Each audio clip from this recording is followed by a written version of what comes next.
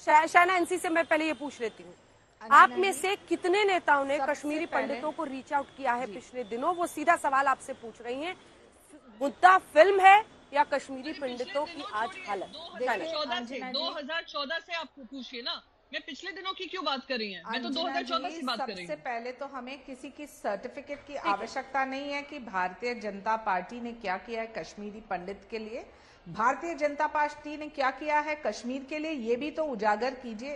एब्रिगेशन of article 370 की बात कीजिए। आपने एक फ़िल्म की जक्र की है। ये लैपिड जी जो हैं जो आते हैं और सोचते हैं वो अपना प्रोपागेंडा चला सकते हैं भारत में। दिस इज़ टोटली शेमफुल चार जूरी के मेंबर्स थे।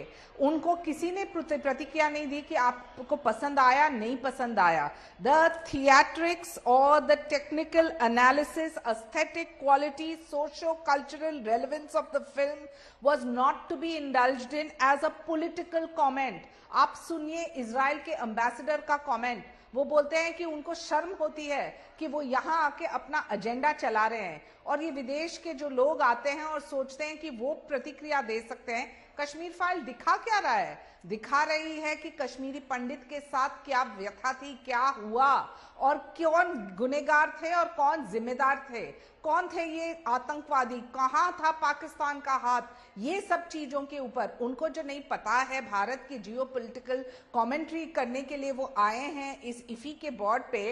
तो मैं पूछना चाहती हूँ अंजना जी, चार जूरी के मेंबर्स थे, उन्होंने कोई टिप्पणी नहीं की। अचानक से वो करें और अफसोस की बात यह है कि जब विदेश की इंटरनेशनल मीडिया कहीं कभी कभार हमने देखा है कि बीबीसी का एजेंडा होता है, कहीं और कोई अंतर्राष्ट्रीय ब्रॉडकास्टिंग एजेंसी का एजेंडा होता है, यहाँ तो एक फ़िल्म क्रिटिक के रूप में उनको बुलाया भी नहीं गया। उनको सिर्फ़ अपने अस्थेटिक सोशल इश्यूज़ के ऊपर जो कोई प्रतिक्रिया देना था और वो भी एक कंट्रोवर्सी को बनाना तो पहले पढ़ लीजिए कि उनके एम्बेसडर ने क्या कहा।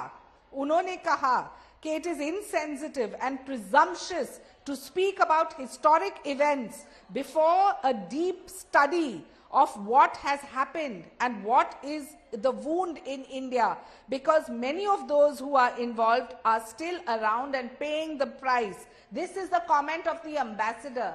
और ये व्यक्ति जो सोचते हैं कि वो आके अपने टीआरपीस के लिए या अपने अबनॉक्शियस कमेंट्स लेंगे और भारत की जनता चुप रहने वाली है भारतीय जनता पार्टी को जो करना है एक राजनीतिक रूप पे एक अलग प्रश्न है यहाँ इफी पे आप जूरी के रूप में आते हैं और फिर आप ऐसे टिप्पणी देते हैं भारत के इतिहास न जानते हुए ये अलग बात है। और रही बात कश्मीरी पंडित हो या जम्मू कश्मीर के लिए नहीं लेकिन चाइना जी पार्टी को करना था कश्मीरी पंडितों कश्मीरी पंडितों एक सेकेंड असिमिलेशन वादा था कश्मीरी पंडितों की घाटी में वापसी का।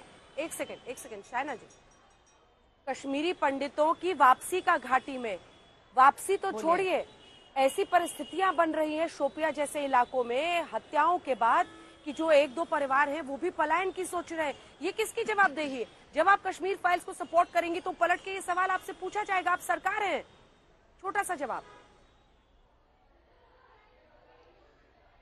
देखिए एक्सोडिस हुआ कश्मीरी पंडित का, लेकिन फिर असिमिलेशन भी तो हुआ है और आप सब जानते हैं। आप अनुपम खेर जी का बयान पढ़ें तो आपको पता चलेगा कि उन्होंने as the protagonist of the film क्या कहा है। हॉलोकास्ट भी तो हुआ ही था राइट आप इन सब चीज़ों पे जाके टिप्पणी कर रहे हैं, एक राजनीतिक दृष्टि से, एक फ़िल्म क्रिटिक के रूप में, ये अलग अलग बातें हैं। एक राजनीतिक पार्टी क्या कर रही है अपने आवाम के लिए और कैसे पंडितों को सक्षम कर रहे हैं ताकि वो वापस जाके वहाँ एक व्यवसाय के साथ आत्मनिर्भर बने, उनको सुरक्षा मिले, उनको शिक्षा मिले, ये सब चीज़ों के ऊपर आप भारतीय जनता पार्टी को पूछ सकते हैं। ये एक राजनीतिक प्रश्न है। लेकिन यहाँ जो लैपिड ने आके बयानबाजी की है वो सिर्फ़ सेंसेशनलिज्म है और उनका हक नहीं बनता है। भारत को किसी की सर्टिफिकेट नहीं चाहिए कोई फ़िल्म के ऊपर या अपने पॉलिटिकल कमेंट्री के ऊपर जो उनको अभ्यास नहीं है। मेरा लिमिटेड पॉइंट यही है।